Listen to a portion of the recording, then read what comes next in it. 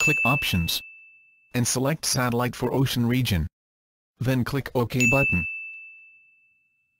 The signal strength will be indicated as soon as the Inmarsat C is tracking the new satellite.